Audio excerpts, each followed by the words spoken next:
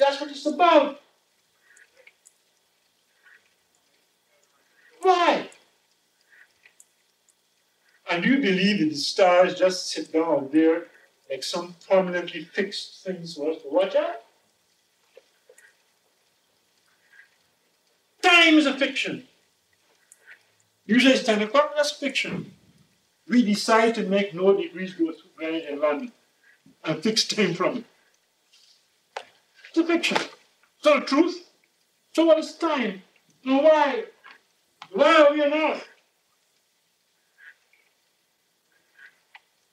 Why man?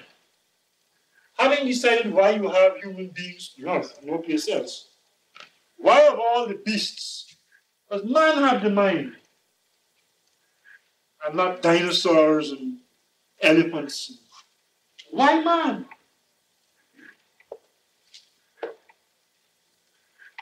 why you have different races and complexions? Migration, you know that. That's a question of migration. How you migrated during the history of man. But the point I am making is the difference between you and that rabble, that sea of bestiality out there, is supposed to be because you follow theories of causation. You want to know why things There are three Platonic questions that you have to ask yourself. Any epistemologist will tell you. The first question is simple. Why are things as they are and not otherwise?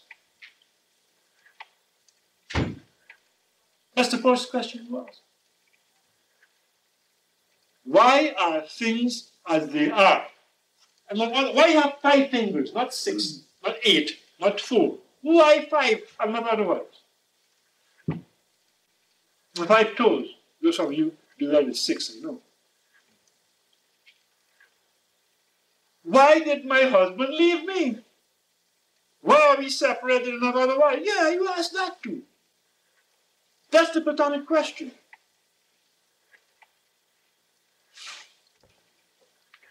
You have to ask it. Some you get some stupid answers sometimes. Why does the apple fall to the earth? Because the earth is attracted to the apple and vice versa is a stupid answer. An eminently stupid. You know. But it's a correct question. Hmm? The second Platonic question is in what assumption have I left out in considering this matter? Always ask yourself that have I left out any assumption?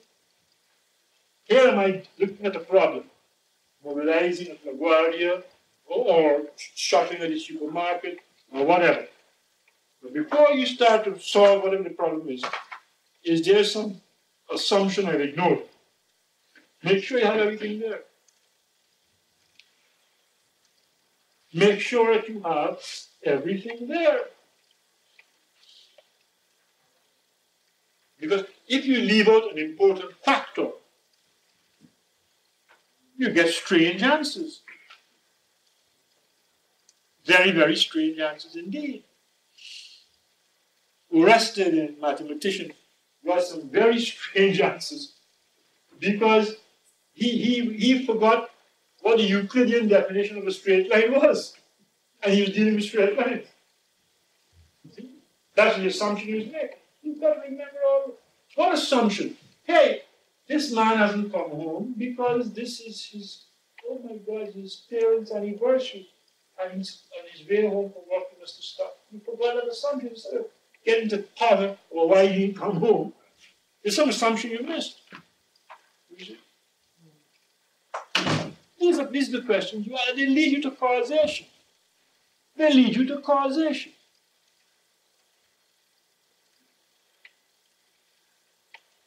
And you always do. That's what makes the Cousins of this world, that's what makes the Leibniz of this world, the Riemann, Cantor, that is what makes. They're like the Shakespeares and the Schiller, look at them. They ask why all the time and, and they catalyze you, try to get you to ask yourself, why?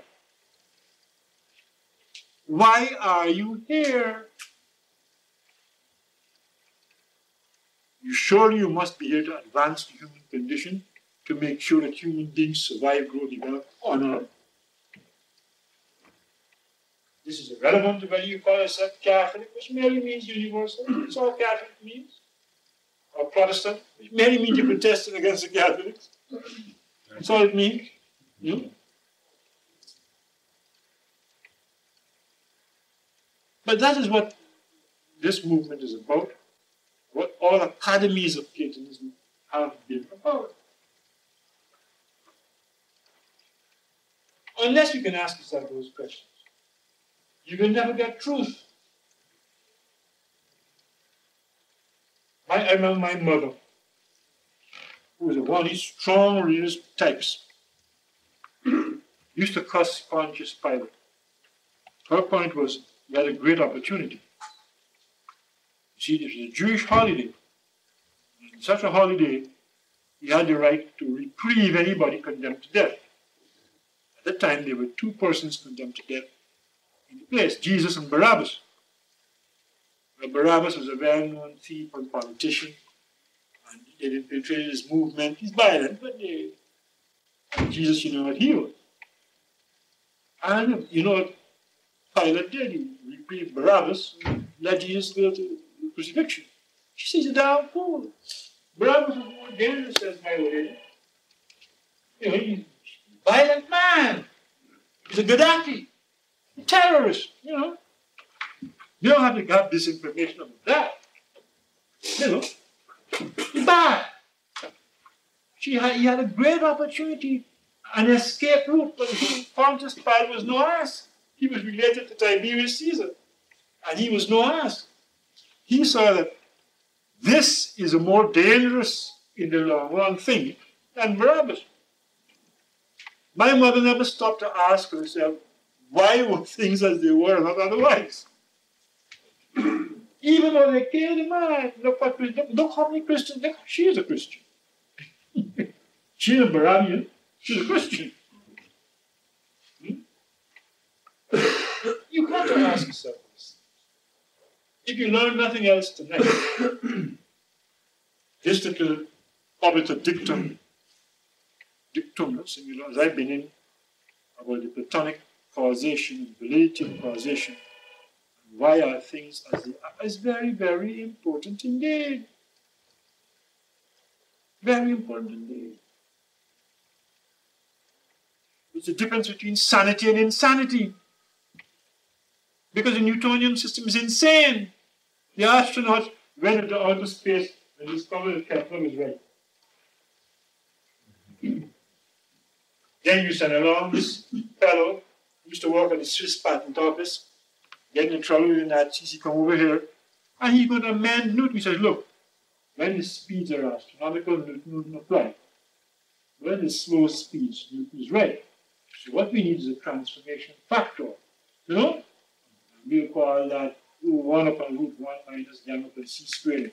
That's transforming factor. You know? So all you have to do is to use Newtonism, blah, blah, blah. Nonsense. It's the stupid.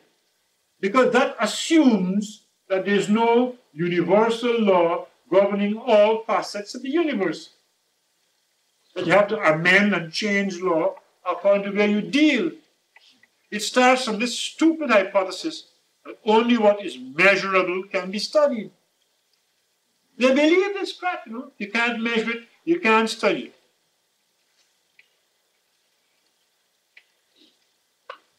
You can't measure it. Say these lunatics. It can't be studied. So somebody goes into Paris and keeps a rod 39.37 inches long, he calls it a meter.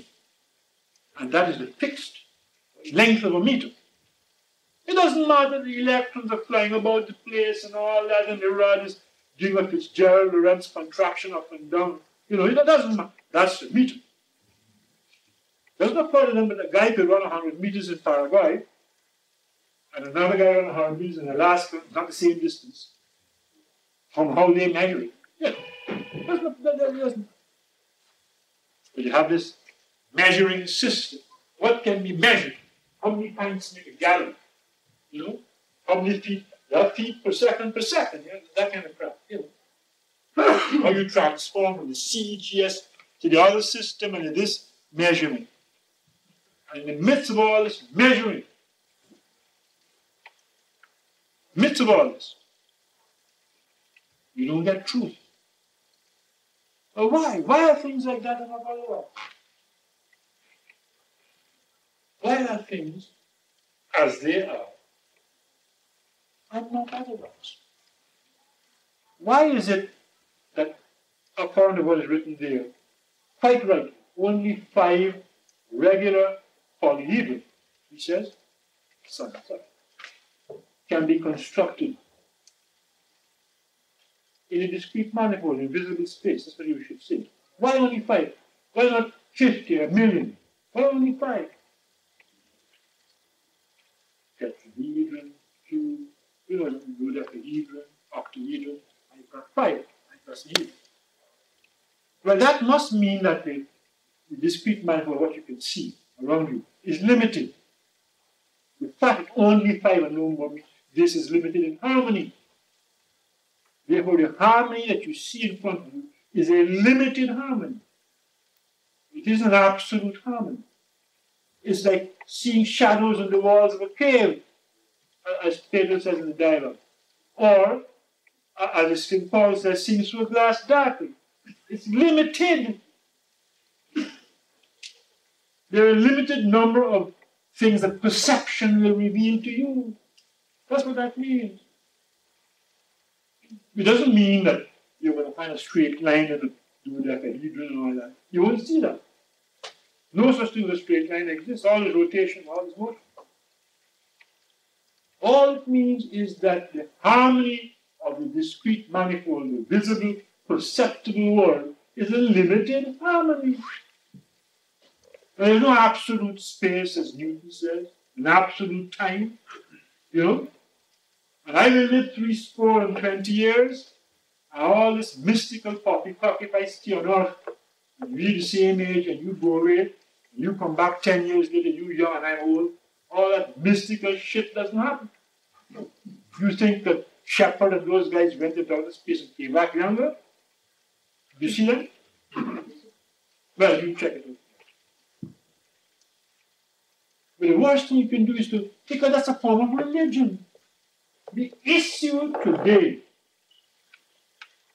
and this is clear from you, you see the implications of Pinheiro, is that we have lost our faith in science, in knowledge.